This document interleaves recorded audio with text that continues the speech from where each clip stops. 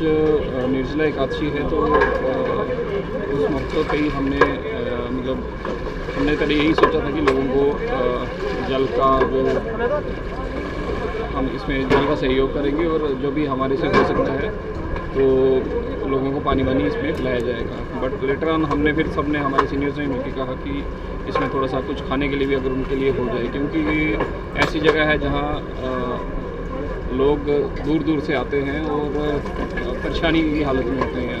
तो हमने यही जगह सोची कि जीएमसी में ही ये चीज़ लगाई जाए।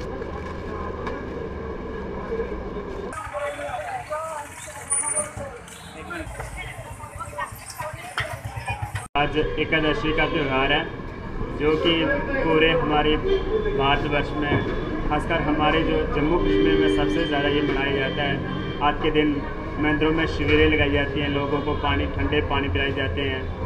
तो जिससे ये हमारा धार्मिक जो है, जो बहुत पुराना चलता आ रहा है, हम सबने इसको मिलकर आगे जो बढ़ाना है।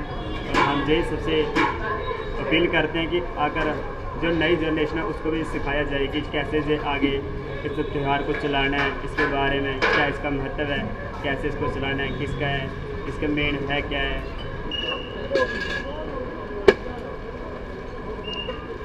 Thank you.